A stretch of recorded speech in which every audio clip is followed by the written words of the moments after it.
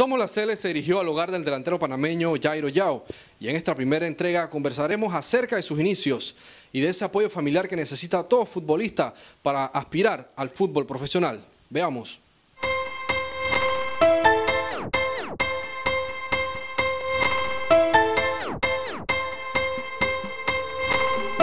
Y bueno, sí, como dice mi señora madre, es algo chistoso para mí de que, de que cuando empezaba ella al principio me llevaba a la práctica de las promesas.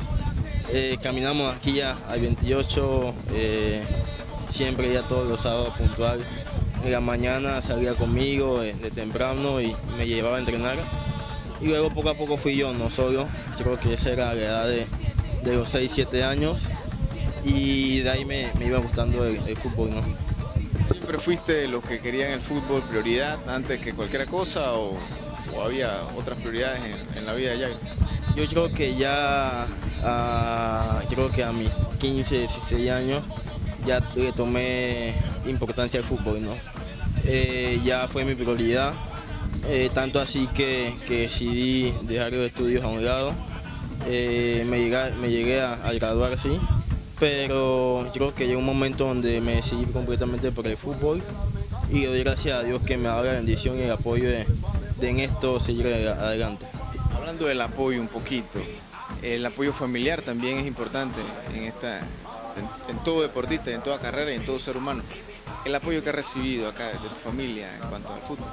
Bueno, sí, creo que el apoyo de, mi familia es algo muy fundamental en mi vida, ¿no? Tanto de mi señora madre que desde chiquito me inculcó una buena educación, eh, me llevaba, como dije, de pequeño apoyándome 100% en el fútbol, ¿no?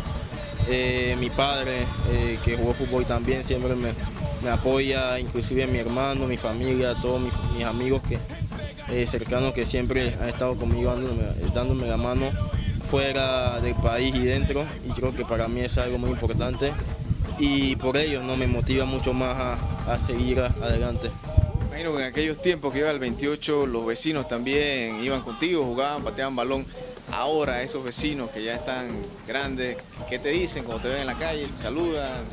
Bueno, sí, es algo, algo agradable, ¿no? De, esos amigos de infancia que, yo tenía o tengo hoy en día, que iban conmigo de pequeño al Estadio 28, eh, aquí en las calles de mi casa, ¿no? Nos poníamos a jugar fútbol.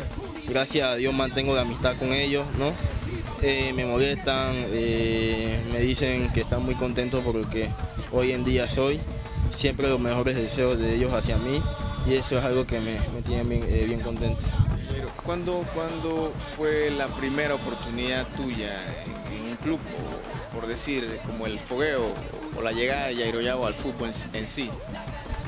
bueno, yo comencé en la escuela de la promesa a los siete años de allí pasé a una escuela de fútbol en, Argentina, pero ya profesional creo que debuté con Sporting, creo que a los 16 años debuté y de ahí me di cuenta lo que era el fútbol, ¿no?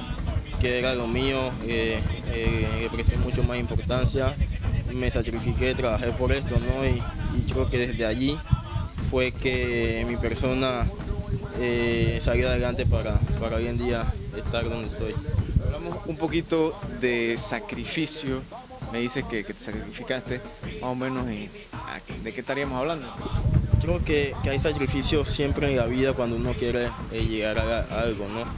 Eh, hay muchos sacrificios y uno que es joven, eh, hay muchas tentaciones, malas amistades o, casos de violencia, droga.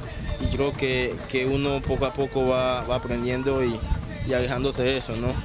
Eh, sacrificios eh, que uno hace de por lo menos de alejanía de tu familia, de dejar a tu familia, por lo menos el sacrificio que yo, yo hice de, dejar el, estudio a un lado para dedicarme completamente al fútbol. Eh, tantas cosas que uno se le juega por esto, ¿no? Y creo que cuando uno ve todos los sacrificios que, has pasado, que has hecho y, ve los frutos, creo que uno, uno se pone muy contento por todo eso. Imagino que más o menos cuando cuando dejaste los estudios, mucha gente no le gustó eso, eh, más que nada como que a la familia a veces como que no, no. ¿Tú recuerdas algo? Sí, sí, sí, inclusive mi mamá era una de las que no, no le gustaba que, yo no siguiera a la universidad, ¿no? ella siempre me decía que el deporte tiene que ir ligado al estudio, ¿no? Pero lastimosamente en ese entonces a mí no, no se, me se, me, hacía muy difícil estudiar, en el sentido de que los entrenos o los viajes, eh, en, ese entonces las selecciones inferiores que, que entrenábamos ahora donde, donde tenía que estudiar, y de ahí yo tomé la decisión. A mi mamá no le gustó, pero me apoyó, eh, como siempre lo ha hecho. Y, bueno, igual mucha, a mucha de mi familia tampoco le gustaba esa decisión, pero gracias a Dios con el apoyo de ellos hoy en día eh, salí adelante.